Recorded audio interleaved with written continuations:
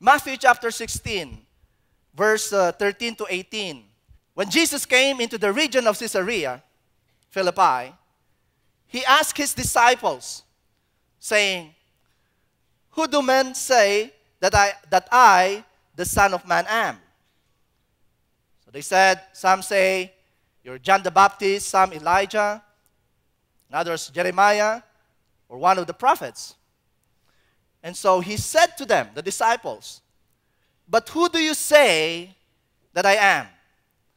And Simon Peter answered and said, You are the Christ, the Son of the living God. And Jesus answered and said to them, Blessed are you, which is very interesting to me. He mentioned this name, Shimon Bar-Yonah. That's in Hebrew. Wow, you can speak Hebrew here. Well, you can learn from the internet, you know. So easy to learn from, you know, language these days. You can just go and Google the word and, you know, just hear the sound. So, so he said, Blessed are you, Simon or Shimon Bar-Yonah. Why am I uh, saying this to you, the Hebrew equivalence of this name? Because so significant that Jesus mentioned the word Shimon Bar-Yonah. For flesh and blood has not revealed this to you, but my Father in heaven. The word Shimon, Simon, Shimon in the Hebrew is from the root word Shama, the one who can hear. So the word Shimon is the past tense of to hear, that means he heard. And then the word Bar-Yonah or Bar-Jonah, son of Jonah, the word Bar is son, and uh, Jonah is, you know, dove. And dove is always used as a symbol of the Spirit. Can you say amen to that? So, in this literal translation of this name, Jesus is just saying, You are blessed. You, person who can hear from the Spirit. You are blessed because you can hear from the Spirit. Shimon Bar-Yonah. For flesh and blood has not revealed this to you. You know, it's interesting also that Jesus never actually teach his disciples at the very beginning that he is the Messiah. I am the Son of God, I am the Messiah.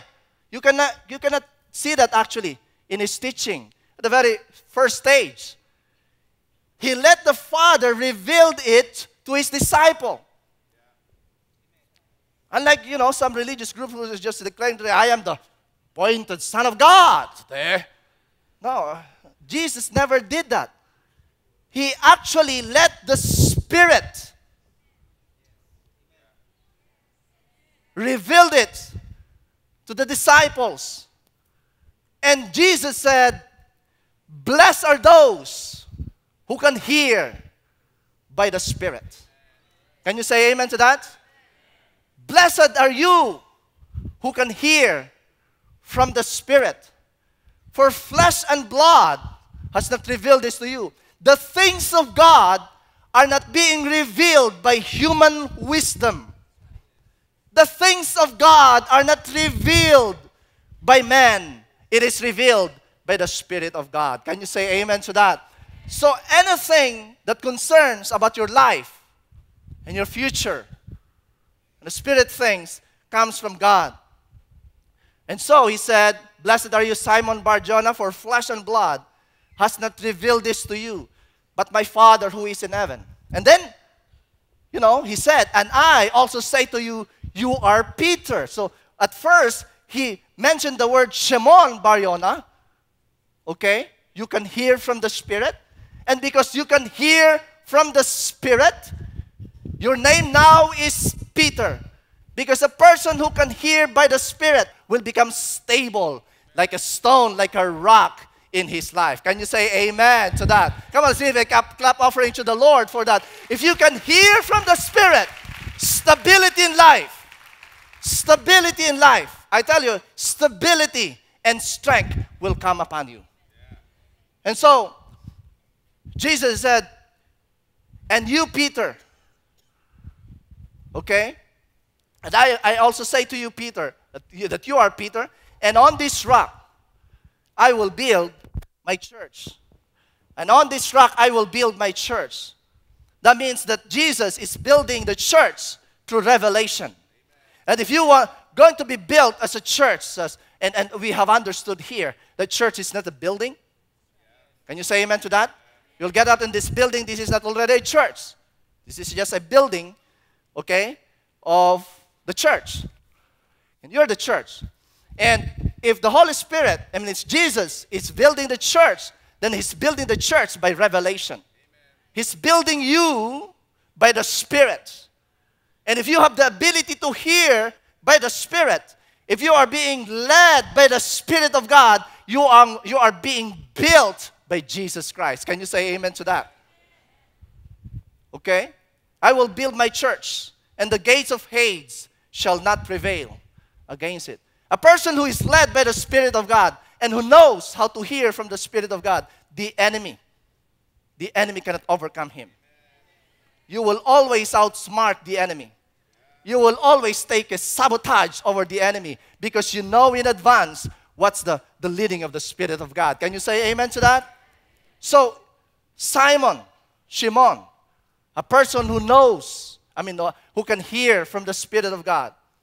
Another uh, disciple in First John chapter 1. In fact, this uh, disciple, John the Beloved, is very close to Jesus, that he always, you know, uh, take uh, a nap, probably, you know, on the chest of Jesus. He's always there, very close to Jesus, very close to Jesus. In fact, uh, the disciples, the 12 of them, they were chosen by Jesus. Right? 12 disciples were chosen by Jesus. And all of them were uh, discipled by Jesus. Out from the crowd, in fact, out, out, out from the crowd, there is 40 disciples. Out from the 40 disciples, 12 were chosen by Jesus. Okay? So these 12 were chosen by Jesus. But there are three who was chosen. They were never chosen by Jesus, but these three decided to be closer to Jesus. And who are they? Peter, James, and John. Let me tell you this. Every time you chose to be closer unto the Lord, you will see more. It has to be your decision. It has to be your pursuit. It has to be your desire. So these three chose to be closer to Jesus. Out of three, there is more closer than the three. And that is John. John chose to be more closer than the tree. And the more that you're getting closer unto the Lord, the more you see things. Can you say amen to that? And it is John the Beloved who wrote the book of Revelation. The one who can see the future. In fact, it's not the future. Even the new heaven and the new earth he saw. And what's the reason? He can hear from the Spirit. And what's the reason he can hear from the Spirit? He's so close with the Lord Jesus.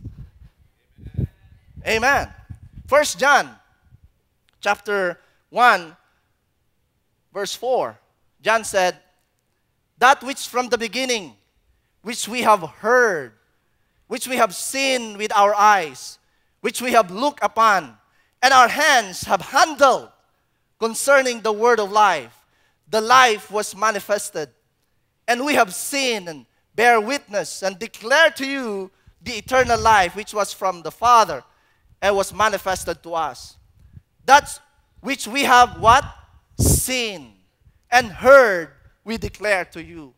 Let me tell you this people will listen to you if you are sharing things that you have heard from the Spirit of God.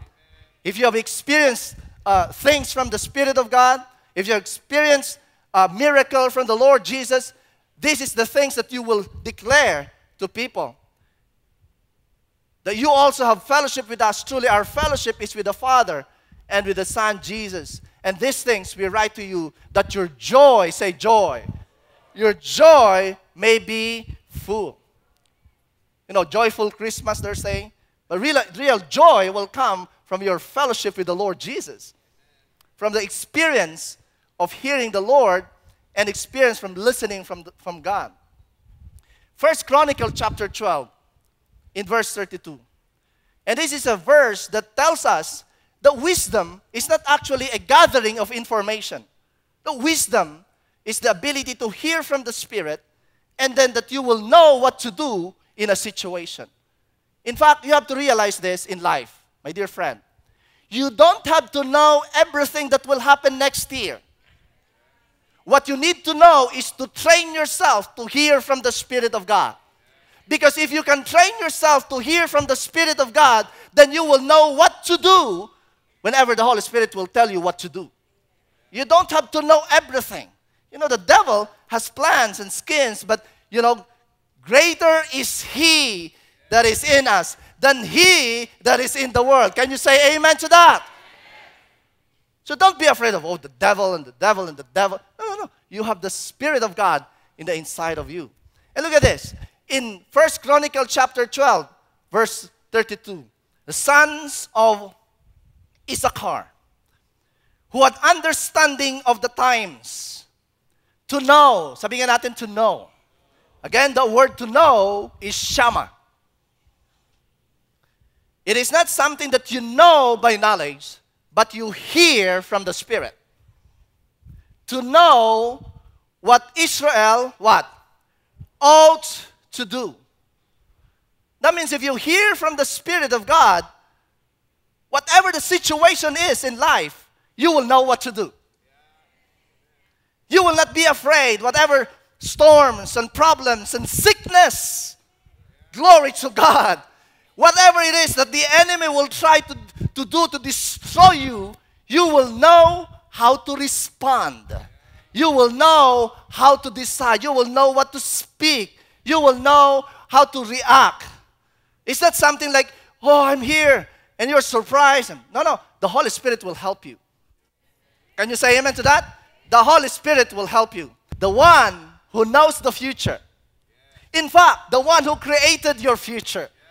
The one whose name is Alpha and Omega is inside of you, and that's Jesus. Come on! Woo! Hallelujah! I can hear from the Spirit of God. I can hear from the Lord Jesus, the Alpha and the Omega. The one who said, It is done, it is finished. The one who says, In this world you will have temptations, trials, and tribulation. But be of good cheer because I have what? I have overcome the world. And that's Jesus inside of me. Glory to God. So, these are the people who can hear from the Spirit. If you can hear from the Spirit of God, and if you can hear that the Holy Spirit will tell you all is well, all your finances, all is well, your family, all is well. Your health, all is well. With long life, He will satisfy you. Can you say amen to that? If the doctor will give you a bad report, well, I will just believe on the good report that Jesus is my healer. Can you say amen to that? If the bank will say you are bankrupt, well, I just say I hear from the Holy Spirit and I hear from the Lord Jesus who came here to give me prosperity and blessing. Amen. Can you say amen to that? Now, my, my, my, my pocket is empty because my wealth is not enough to contain in my well in, in my pocket. It is hidden in the heavenly places, and I can always get it by faith. Hallelujah. So if you can hear that by the Spirit, all is well.